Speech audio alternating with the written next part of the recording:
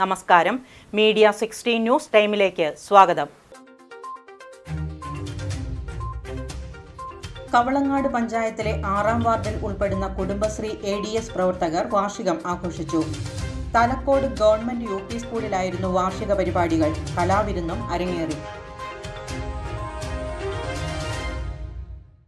കവളങ്ങാട് ഗ്രാമപഞ്ചായത്തിലെ ആറാം വാർഡിൽ കുടുംബശ്രീ എ ഡി എസ് വാർഷികം ആഘോഷിച്ചു.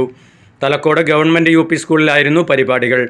ബാലസഭ കുട്ടികളുടെയും കുടുംബശ്രീ പ്രവർത്തകരുടെയും വയോജന അയൽക്കൂട്ടങ്ങളുടെയും വിവിധ കലാമത്സരങ്ങളും പരിപാടികളും വാർഷികാഘോഷങ്ങളുടെ ഭാഗമായി നടന്നു. ഗ്രാമപഞ്ചായത്ത് പ്രസിഡന്റ് സൈജൻ ചാക്കോ ഉദ്ഘാടനം ചെയ്തു. A D S president Reena Antony അധ്യക്ഷത വഹിച്ചു.